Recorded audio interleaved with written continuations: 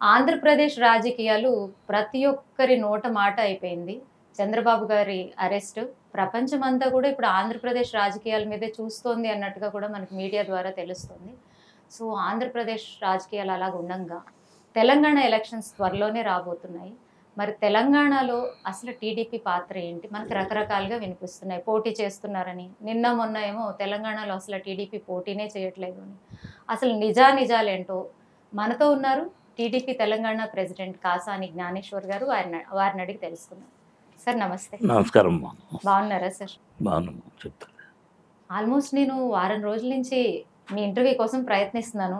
మొత్తానికి. ఈవేళ దొరికింది సార్ మాకు. ఎందుకమ్మా నేను ఉంటున్నా కదా మీరు వస్తే అయిపోతుంది కదా. వస్తున్నాం సార్. అంటే మీరు ఏదో ఒకటి బిజీలో ఉన్నారు. ఇదే ఎలక్షన్ వల్ల అంటారా? అవును. ఓకే. క్యాండిడేట్స్ వస్తారు కదా అందరూ. ఓకే. వాళ్ళతో మాట్లాడాలి తప్పదు. ఓకే. సార్ ఇప్పుడు తెలంగాణలో ఏ అసెంబ్లీ నుంచి మీరు కంటెస్ట్ చేయబోతున్నారు?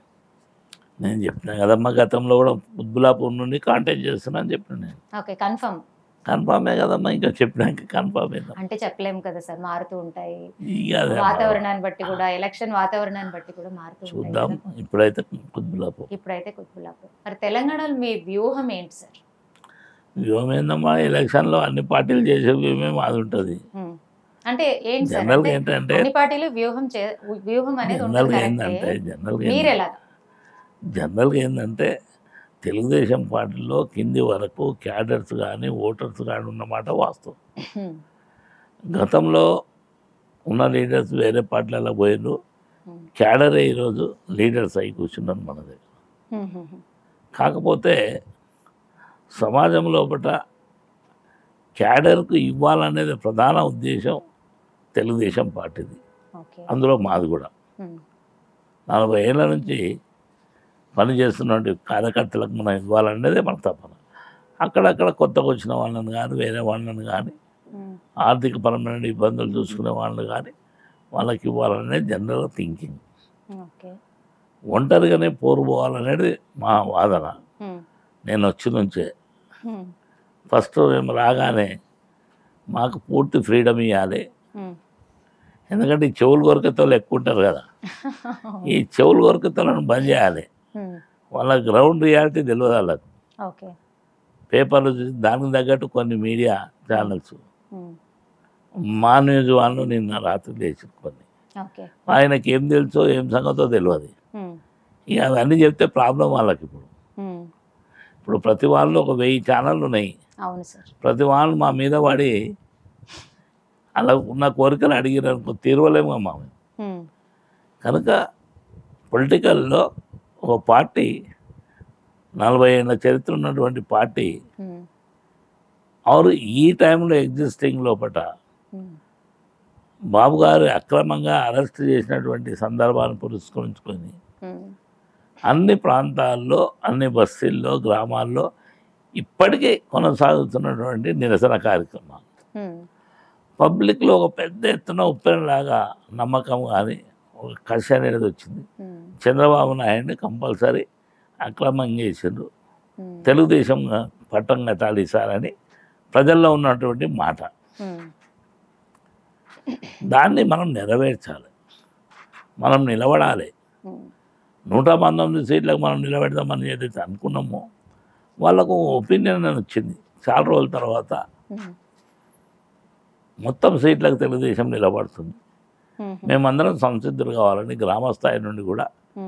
క్యాడర్ తయారైనటువంటి మాట మనం మరవద్దు. దాన్ని కొంతమంది ఇక్కడ ఉన్నటువంటి సిటీలో తిరుగుతున్నటువంటి లీడర్షిప్ వాళ్ళు ఏ పార్టీలు ఉండరు. పార్టీల చెవులు కొరుకుడు. ఉమ్. సట్లర్స్ అని చెప్పుడు నేను పదే పదే చెప్తున్నా ఉమ్. సట్లర్ అనే మాట మీరు అనకుండా దయచేసి కుటుంబ సభ్యులు తెలుగుదేశం అందరం కూడా నలభై సంవత్సరాల తర్వాత ఇంకా సట్లర్స్ ఏమంటారు అని చెప్తున్నాం మనం. కానీ వాళ్ళకి ఏందో ఏమో ఆ జొర్రిగా జరిగినట్టు గుయ్యి గుయ్యి గుయ్యి అని జరిగినట్టు. ఎక్కడ పోయినా తప్పుడు సమాచారాలు ఇస్తున్నారు అసలు తెలుగుదేశంకు ఓట్లే రావని. ఎవడో నిలబడ్డటీలు అనేవాళ్ళు ఎక్కడ కూడా కౌన్సిలర్స్ కూడా నిలబడరు. వాళ్ళకి సంబంధం లేదు. కానీ ఓట్లు ఓట్లు వస్తాయి ఎప్పుడు వస్తాయి? రేపు నిలబడితే. నూట పంతొమ్మిది సీట్లలో నిలబడితే ఎవరు ఏం గలత్ అయితే చూసుకోవాలి వాళ్ళు. నా వాదనల్లా మూడు పార్టీలే కాకుండా తెలుగుదేశం పార్టీ నాలుగో పార్టీ ఫస్ట్ ప్లేస్కి వస్తుంది నేను అనుకున్నట్టు చేస్తే. నేను అనుకున్న వ్యూహం ప్రకారంగా చేస్తే తెలుగుదేశం క్యాడర్తో పాటు గ్రామ స్థాయితో పాటు రాష్ట్ర స్థాయి వరకు. పెద్ద ఎత్తున పెనుమార్పులు వచ్చే సమస్య ఉంది. మరి మీ మీ వ్యూహాన్ని చంద్రబాబు నాయుడు గారికి చెప్పడం జరిగిందా సార్? చెప్పినాము. ఆయనకు కూడా తెలుసు. ఇప్పుడు నలభై ఆరు రోజులు నలభై ఏడు రోజులు అవుతుంది. నలభై ఆరు రోజులు అవుతుంది జైల్లో ఉండి. ఆయన బాగోగులు చూసుకోవాల్సిన బాధ్యత మాది. ఎట్లున్నారు ఏమున్నారు క్యాడర్కు నచ్చ చెప్పే వరకే తలపానికి వస్తుంది. అక్కడ ఆయనకు ఇక్కడ వచ్చే వరకు ఎలక్షన్స్ మరి ఆ రోజు క్లియర్గా చెప్పడం జరిగింది. తెలంగాణ లోపల జ్ఞానేశ్వర్ నువ్వు ఫుల్ ఫ్లెడ్జ్గా చూసుకోవాలి. ఎక్కడి నుండి కూడా ఏమి ఆశించొద్దు మీరు చేయాలని. మేము అదే పంతలోనే ఉన్నాం. మళ్ళా దూరం అంతా ఏంటంటే ఇక్కడ ఏమైనా మైనస్ అయితే అక్కడ ఆంధ్ర నష్టపోతుంది దానికి అర్థమే లేదు. పొలిటికల్ పార్టీగా ఇక్కడున్నాం అక్కడున్నాం అనేది ఎక్కడక్కడనే తెలంగాణ పార్టీ తెలంగాణకు ఉంది ఆంధ్ర పార్టీ ఆంధ్రాకు ఉంది. గమ్మత్ ఏంటంటే ఆంధ్రలో తెలుగుదేశం పవన్ కళ్యాణ్ అంటారు